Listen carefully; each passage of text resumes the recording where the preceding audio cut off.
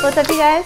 My name is Megan. I'm the intern here at Alice Drive and I just wanted to show you guys what goes into our loot boxes. So if you're new, you get a cool box with a bunch of cool stuff in it. So I'm going to show you what goes into it, okay?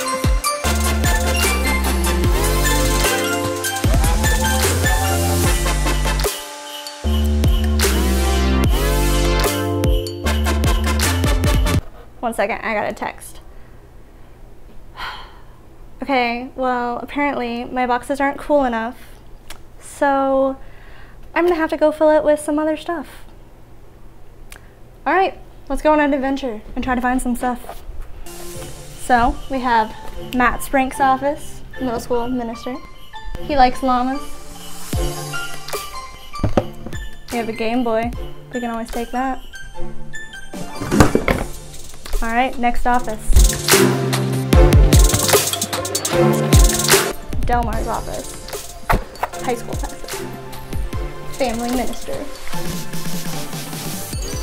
Do you like Harley stuff? Because he's got a wallet. Next. Mandy's office. She's our creative pastor.